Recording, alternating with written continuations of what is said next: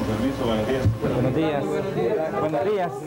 Los ministros de Hacienda, Salud y Agricultura brindaron un informe detallado a los diputados de la Comisión de Hacienda de la Asamblea Legislativa sobre el uso de los 250 millones del préstamo del Banco Interamericano de Desarrollo para enfrentar la pandemia del COVID-19 en el país. Se puede utilizar para reforzar caída de ingresos o también para reforzar partidas del presupuesto ya existentes que necesiten incorporar nuevos recursos.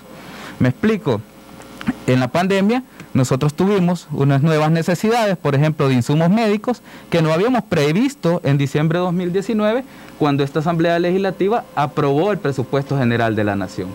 Algunos legisladores expresaron sus inquietudes al ministro de Hacienda como los ingresos obtenidos productos de la colocación de los títulos valores de créditos. También el desglose de los gastos realizados de los 18 millones asignados al financiamiento para atender la emergencia, recuperación y reconstrucción económica y social del país. La gestión de hasta 3 mil millones de dólares, 2 mil en un primer tramo aprobado en el decreto 608 que tenía sus propósitos y otro de mil millones que tenía otro propósito.